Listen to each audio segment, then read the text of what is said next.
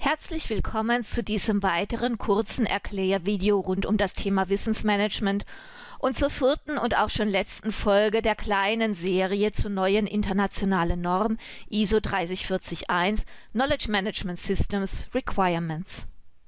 In dieser vierten und letzten Folge haben wir uns nun endlich über die Hintergründe der Norm und ihrer Entstehung, die wesentlichen Definitionen zum Wissensmanagement sowie die Leitprinzipien an die eigentlichen Anforderungen, die die Norm an ein Wissensmanagementsystem stellt, herangearbeitet. Worum geht es in der Norm generell? Nun, die Organisation soll ein Wissensmanagementsystem etablieren, einführen, pflegen und kontinuierlich verbessern. Wir erinnern uns, Wissensmanagementsystem bezeichnet hier kein IT-System, sondern ein sogenanntes soziotechnisches System.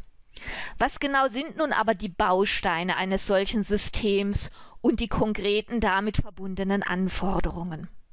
Die Organisation soll nachweisen, dass ihr Wissensmanagementsystem alle Wissensprozesse durch systematische Aktivitäten und durch bestimmte Verhaltensweisen abdeckt. Die englische Vokabel Cover ist hier ein wenig diffus, sollen Prozesse gestaltet und gesteuert oder etwas zurückhaltender unterstützt werden.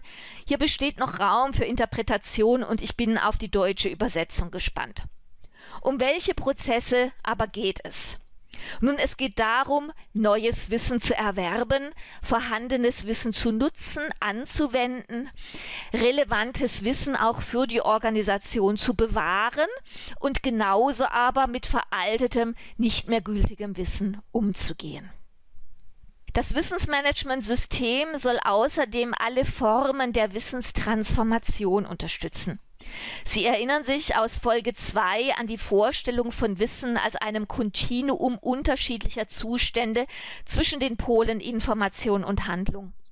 Die Übergänge zwischen diesen unterschiedlichen Zuständen soll ein Wissensmanagementsystem unterstützen durch die Unterstützung der menschlichen Interaktion durch Representation. Representation bedeutet, dass Wissen verfügbar gemacht werden soll durch Dokumentation, durch Kodifizierung, aber auch durch Demonstration, durch Combination, das heißt, Wissen soll zugänglich und auffindbar gemacht werden, indem es kuratiert wird, formalisiert wird, strukturiert wird und schließlich durch die Unterstützung der Internalisierung und des Lernens. Ja, und schließlich soll das Wissensmanagementsystem Schlüsselvoraussetzungen schaffen, im Englischen äh, sogenannte Enablers. Was sind diese Enablers, förderliche Rahmenbedingungen für ein Wissensmanagement? Nun, es ist das Human Capital, also die Menschen als Wissensträger. Es ist die wissensförderliche Gestaltung von Prozessen. Es sind Arbeitsmittel und Arbeitsumgebungen, sowohl technologisch als auch physikalischer Art. Es ist das Thema Governance, also die bewusste Steuerung des Wissensmanagementsystems, aber auch des Wissens im Hinblick auf Ziele, auf relevante Wissensgebiete und es ist schließlich die ja, wissensförderliche Kultur.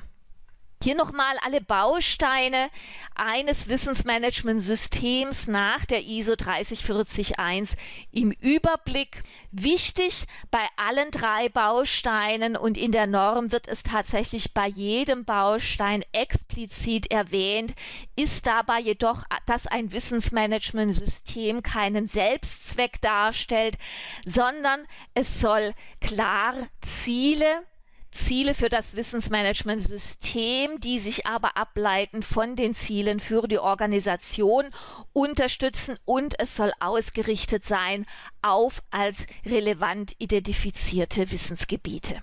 Ja, so viel als erster Eindruck zur recht neuen internationalen Norm ISO 30401 Knowledge Management Systems Requirements. Wir haben angefangen mit den Hintergründen über die Definitionen und Leitprinzipien in dieser Folge schließlich die konkreten Anforderungen. Ich bedanke mich für die Aufmerksamkeit und wünsche viel Erfolg bei der Umsetzung dieser neuen Norm.